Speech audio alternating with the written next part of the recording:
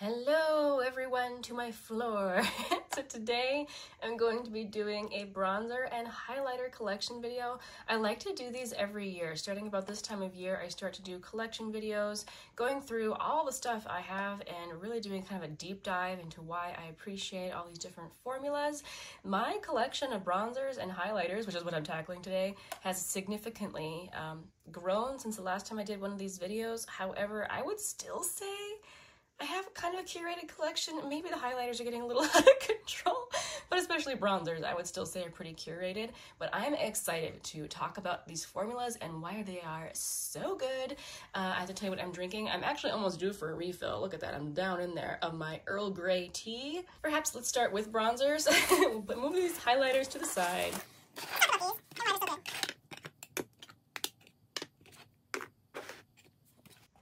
Let's start with the flower bronzer. So if you guys are not new to my channel, you know that for the longest time I resisted uh, buying bronzers, trying bronzers, and I think it's because back in the day when I used bronzer, it was probably 2003, and it was the type of thing you put all over your face. You didn't really worry about placement. It was just something to really kind of warm up your face. Now bronzer, it's very much, I feel like it's kind of used to sculpt the face a bit more, and I personally, I was always afraid that I would do it wrong. Like I know there were times where I would see um, an individual wearing bronzer where I felt like it didn't look good and I didn't want to be that person.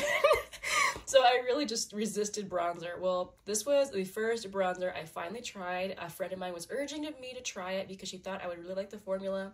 And this got me into bronzer again. So, Flower Beauty. I feel like Flower Beauty is one of those brands that whenever people do dupe videos, they have some of the nicest formulas that are so similar to high-end formulas. It gets mentioned all the time. I have seen this mentioned several times as dupes to high-end bronzers. And while I haven't tried those specific high-end bronzers, I would say that this is a very, very good formula. So this is the Heatwave Luminous Bronzer. I have the shade Stunner, or no, I'm sorry, Sunrise. And there's only two shades in this bronzer, which is disappointing. Hopefully they expand the range because it is very, very good. So you can see it is a marbled baked formula. And the particular shade of this is interesting because it's pretty cool toned. It has definitely some luminosity to it. But when I wear it, it actually because you know I don't have a pink undertone so something that's kind of pinky like this it doesn't look super super pink on me it but it does kind of look blushy. This is one of those formulas I can wear as both a bronzer and a blush. And I think one of the reasons why it's so good is because it is sheer enough so you don't have to worry about, you know, instantly kapow accidentally applying too much bronzer, but it's not so sheer that you're constantly dipping into it to get more. Like it, it definitely does show up on the skin. But if you're like me, fairly light skinned and you have a hard time finding a bronzer that you think isn't too much, I think that this is a really good place to start and the formula is really, really pretty. Let's talk about these e.l.f. bronzers real quick. So a friend of mine actually bought all the shades and we were talking about bronzer. I was telling her how I wanted bronzers that weren't super pigmented and she just gave me a couple of shades. So she gave me a warm shade and a cool shade and I actually do really like this. So this is, let's start with the warm one. This is the shade Honey Drip. So this is very different from the Flower Beauty one, first of all, in the fact that it's a cream, but it's also matte. So that actually can be very, very helpful for me when I, will, I wear a lot of glowy products and it's nice just to add something that's not super glowy. Obviously this one is more warm tone, but I still would not say it makes me look orange. And it's sheer enough to where if I accidentally get too much, it blends out easily and I don't ever have a problem. I feel like wearing too much bronzer. So that's the shade Honey Drip. And then the shade Feelin' Shady is actually very, very cool toned. This is definitely a contoury shade, which I have never really gotten into contour. So I think it's actually a really fun way to try it out with something that's as sheer as this one. I appreciate how sheer it is so I don't go too overboard. For someone who's new to cream bronzer, I don't know, I feel like these, it's worth a shot. They're very inexpensive and I, and I like them. I think they're good. Um, this one from Tarte, this is actually a mini of the Park Avenue Princess Bronzer and I think there's two versions of this bronzer. I think there's the matte one and the glowy one. Mine is the glowy one and this is in my Project Pan, hence the gigantic pan in there. But this is another luminous bronzer that is a little bit more warm than cool, but I would say it's definitely not orange. It leans golden, and I think it's pretty. I like it. It's probably not something when I finish it I'll repurchase just because there's so many that would be fun to try, and I just really don't want a gigantic bronzer collection, but I do have a few things I would like to try. But in the meantime, finishing this up, I think it's nice. I think this is one that it's definitely middle of the road in terms of not being too pigmented or not. So yeah, this is one I have no problem using.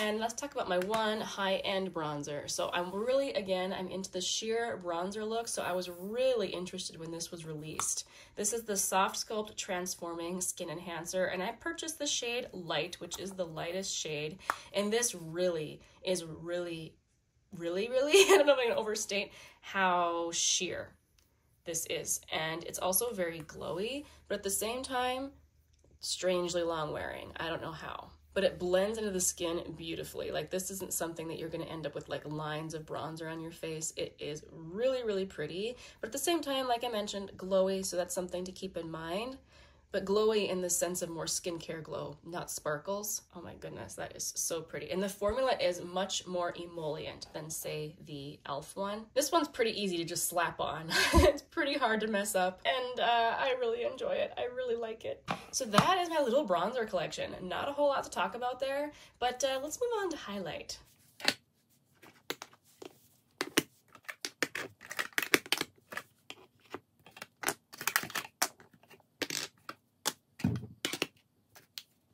All right, so we definitely have a few more things to talk about here. I feel like I discovered highlighter last year. Before that, I actually was pretty anti-highlighter. I've always had more oily skin, and so I was always like, why would I add more shine to my skin? I don't understand. Well, now I do, okay? I understand, and I think that uh, highlighter can be absolutely stunning. So I have collected quite a few at this point. Let's just start down here in the corner. So this isn't a Makeup Geek little compact, but this is actually a single from Sydney Grace. And as you can see, I have dropped it and it has shattered, but I try to be super careful with this one. I don't have anything else like this. As you can see, it is very purple and cool toned. I normally would not go for a purple highlighter. However, at certain times of the winter, it is super fun to play around with a very, very cool toned highlighter like this. It is very, very pigmented. I barely dip my brush into this. Like this is pretty much an eyeshadow, I feel like. But yeah, so I barely dip my brush into this when uh, I am using it. But for those very rare occasions when I want it, I love it, which is why I keep it around. I don't often hang on to things that I only use a few times a year, but this is one of those things that uh, I do. Okay, here's another one from Sydney Grace. This is actually a loose highlighter. This is the shade Candied Peach. I think I actually prefer their loose highlighter formula than to the pressed one, just because, I guess I don't even know why. But this shade is such a beautiful peach. Again, it's very different from any other highlighter I have in my collection. I tend towards more champagne stuff. So these two have more color than I would usually go for. Oh, it is so pretty, especially in the summer and the fall. If you don't mind, you know, messing around with a loose highlighter, they can be difficult in terms of just messiness and and not trying to get too much because it is very pigmented. I use again the tiniest little bit of this, but if you like loose highlighter, I would absolutely recommend the one from Sydney Grace. It's really good. While it's obviously glowy, there's no big giant sparkles. It's very smooth. Okay, let's talk about one of my favorite formulas from Merit. Now, these were sent to me for review purposes, so I want to make sure I, you know, clear on that, but I love them. so this is one I had in a project pan, which is why it's so flat. but this is the shade Cava.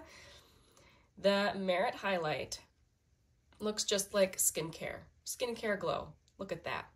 Very, very easy to use, kind of hard to overdo, although you, you can, you can definitely build it up till it gets super, super shiny looking. But yeah, it just looks like skincare glow and I cannot recommend it enough. I think it is so pretty. But anyway, that was the shade Cava.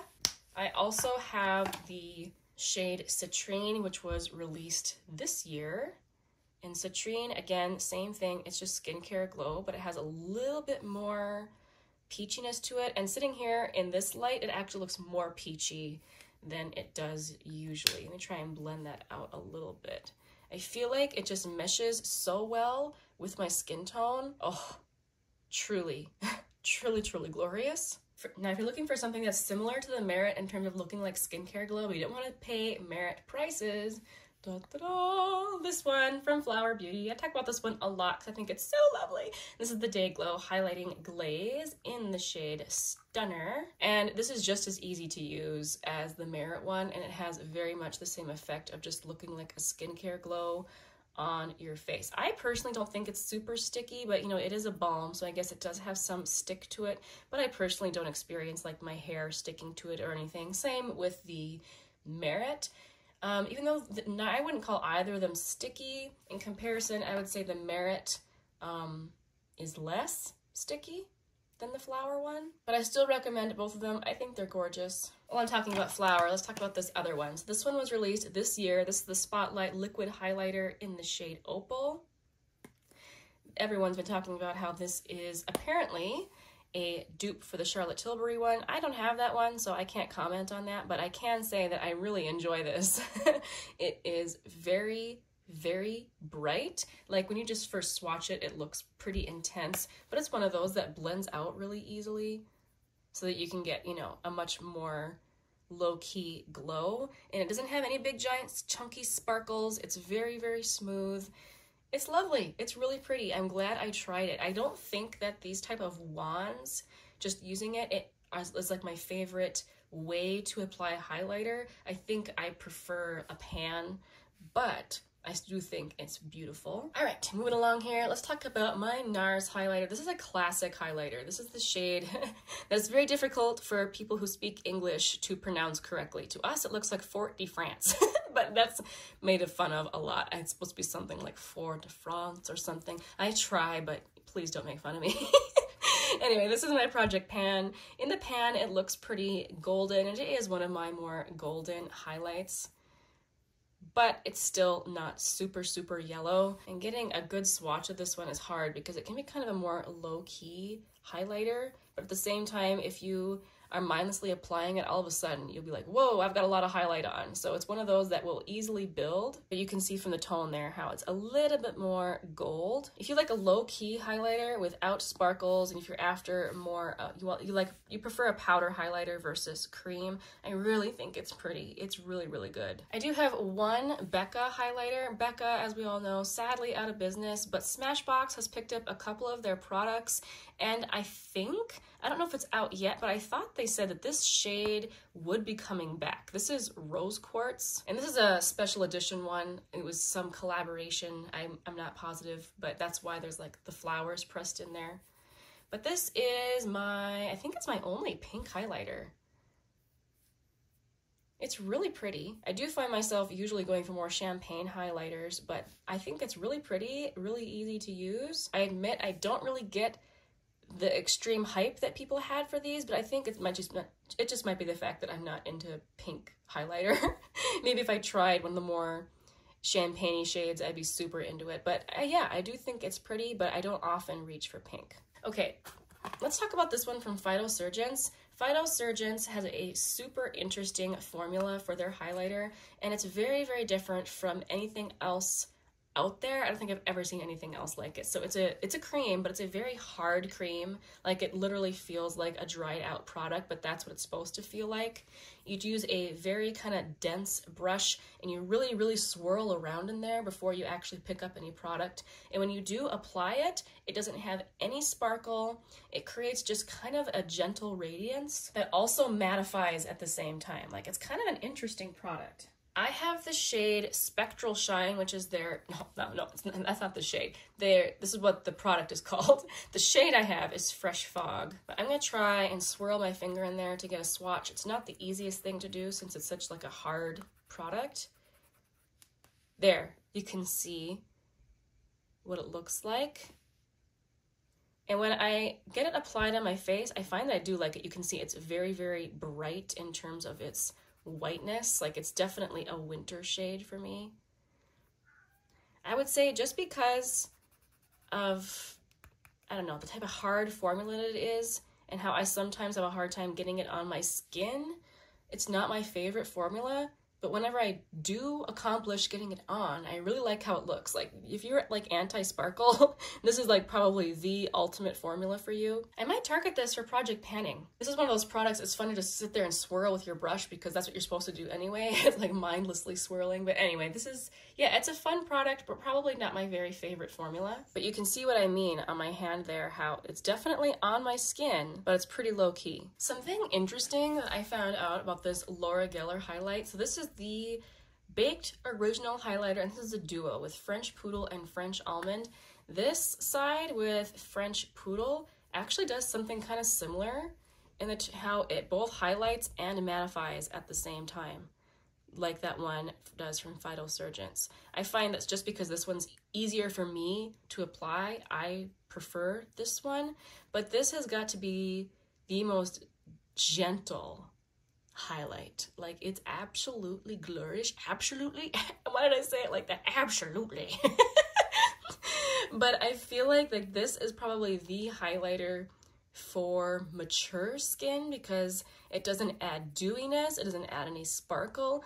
It just truly adds a bit of lightness. Like it's truly hard to describe why I think this is so beautiful. It's a beautiful formula. It's kind of powdery. Sorry, I keep adding this to them. I'm trying to think of words to describe it. Like when I turn my hand and I feel like I'm having a hard time catching it on camera, there's definitely radiance there, but it's not causing any sort of like true shininess, if you know what I mean. This shade over here, this is pretty iffy for me if I can use this shade. It's almost too dark. I feel like if I just use a little bit, I can pull it off. But that one's definitely more peachy, but still beautiful formula. I think this is really pretty. It's really good. All right, we're down to my last three, three of my most favorite products. Let's talk about this from MAC. I got this at TJ Maxx and I keep seeing it there. If you want to try this, I definitely be on the lookout for it at TJ Maxx. So this is the Extra Dimension Skin Finish in the shade Double Gleam. This is not a low-key highlight. um, it definitely has a lot of glow. Oh, my goodness. I love it. it's another one of those I kind of have to go in gently because I don't want an intense highlight a lot of times, but I just love the shine. Again, no chunky sparkles, very, very smooth. Oh my goodness, it is truly stunning. I highly recommend. It's really good. Kind of along the same lines, this one from Nabla, this is another baked formula and oh, it creates the most beautiful glass skin finish. I like to really buff this one into my skin. Oh my goodness, just, so many highlights. It's kind of a thing where they're the same but different. You know what I mean? These two are definitely probably the most intense highlights in my collection, and I love them. I love, love, love, love, love them. I'm to say the same thing about this one as I did about this one. Very smooth, no chunky glitter. You can get super intense glow if you want, or you can keep it pretty low key just by being, you know, light-handed. But oh, stunning. And this one from ColourPop. I have mentioned this so often on my channel over the past couple of years. It's so good and it's a classic. So this is the shade Lunch Money in the Super Shock formula. It has that delightful bouncy texture that ColourPop is known for, but for some reason, these do not dry out as fast. I'm trying to look for a spot here. Oh, goodness. It does not dry out as fast as like the Super Shock blushes do. And this is one of their more low-key highlights in terms of it doesn't have chunks of glitter. Some of their other ones do, so you have to be careful which shade you get.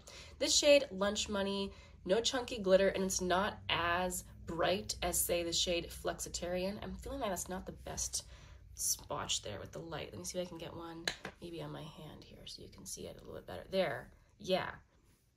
So you can see it's like not as bright as these, but still has a beautiful glow. Again, no chunkiness. This is another one that when you buff it into your skin, it kind of just looks like your skin is glowing. Like you are very, very healthy. And because it's ColourPop, it's very affordable. I highly recommend it. All right, so there we have my bronzer and highlighter collection for the year 2022. I really enjoy doing this, these kind of deep dives into my collection, because it helps me appreciate what I have and not just want all the new things, especially this time of year during all the sales. So if you guys watched till the end, thank you so much. I really appreciate you guys hanging out with me on my channel. Please make sure and let me know in the comment section your favorite bronzer, your favorite highlighter, and you know, you don't have to keep it to just one. I know I have a really hard time with that myself. So favorites, let's say that. Let me know your guys' favorites down below. I love hearing what everyone's favorites are. I will see you again very soon in the next one. Bye.